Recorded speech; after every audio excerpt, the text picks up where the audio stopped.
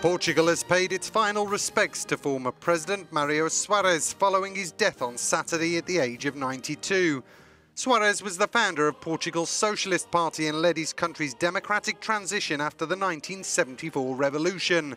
He also spearheaded the country's entry into the EU, and several senior political veterans from Europe's left were in attendance at the state funeral in Lisbon.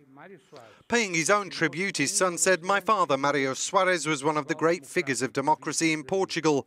And by virtue of his constant civic intervention and his attachment to Portugal, as well as democratic values, gained a place among the great figures of Europe in the second half of the last century.